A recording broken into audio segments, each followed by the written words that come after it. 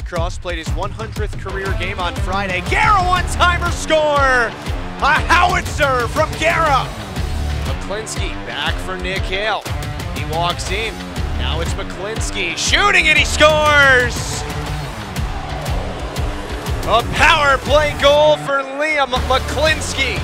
It's huge Hall of Fun. It was three on one. And watch out, here comes Holy Cross. Constable on a breakaway, in on Park, he saves, rebound, score! We try to stick to our core identity to the most part how we want to play, and that's gotten better over time, so that's helped us.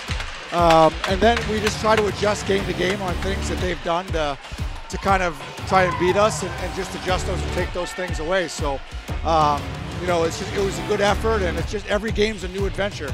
Doesn't matter who we're playing, it's just another chance to go out there and get a win. Uh, we're only as good as, as the points we're getting each weekend, and at this time in any league, it's just about getting points every game you can and finding a way to, to stay up and move up in the standings. He once again shoots it off the post, rebound, score! Phillips makes it four.